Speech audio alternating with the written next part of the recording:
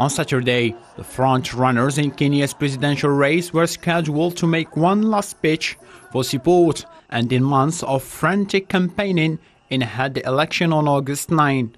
William Ruto, the deputy president, and Raila Odinga, a long-time opponent who is now supported by the ruling party, are competing to reach the government's top post, the president of the East African powerhouse state, as he struggled with the cost of living crisis.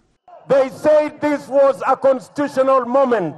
We told them no, this is an economic moment.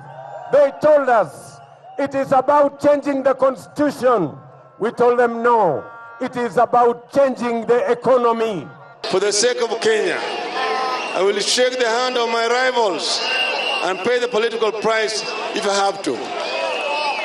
I will shake their hand if I win and I will shake their hand if I don't.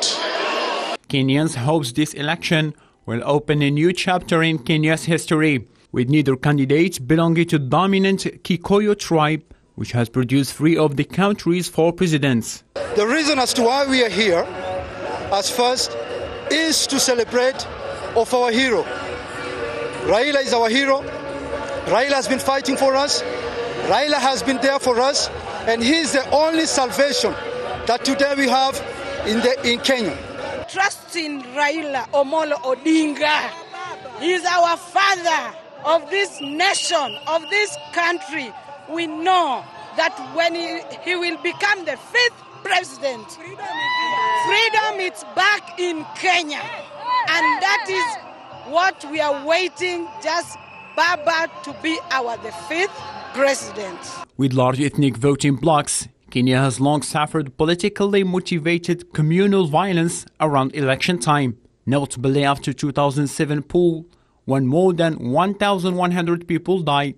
The run-up to this year's poll has been largely calm, with the police planning to deploy 100,000 officers on elections day to ensure security and the international community calling for a peaceful vote.